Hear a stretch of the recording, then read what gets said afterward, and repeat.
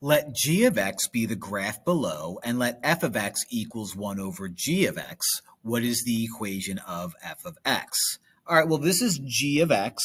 So it looks to me that we kind of have ourselves a cosine function because it starts up here. The amplitude, that's 1, so that's a half. So the amplitude is a half, right? Uh, the period is 2 pi. And I see no vertical shifts and I see no horizontal shifts. So g of x is going to be half cosine x.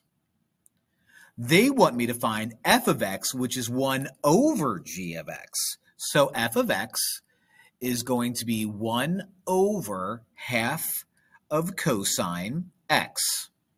Let's do this first. Let's multiply the top and the bottom by 2 to get rid of that half on the bottom because that crosses out. That leaves me with 2 over cos x. When cos x is in the denominator, I could just move that up and make it secant x. And so that makes f of x equals 2 secant x. Fun, fun, fun, fun, funny, fun, fun.